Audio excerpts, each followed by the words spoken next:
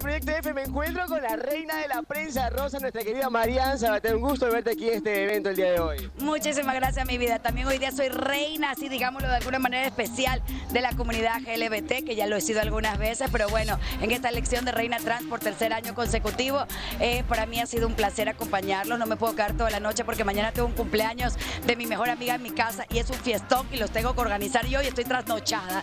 Pero bueno, he hecho todo lo posible, me encanta, creo, quiero que gane la mejor y me encanta, como yo digo, voy a cumplir 50 años, nunca está Bueno, cuéntame acerca de los 30 años que Marian Sabater va a cumplir en la televisión. El 30, el 30 de septiembre son 30 años en la televisión y el primero son 50 años de vida.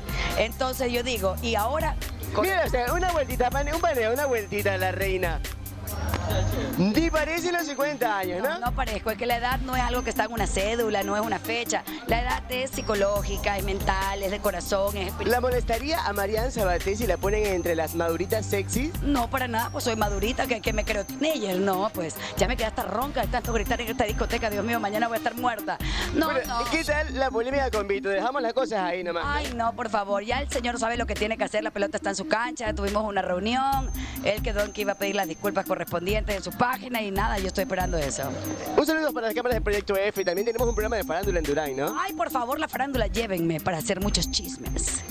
Para Proyecto F, Raúl el Travieso con Z y la reina de la prensa rosa. Y ahora de la comunidad.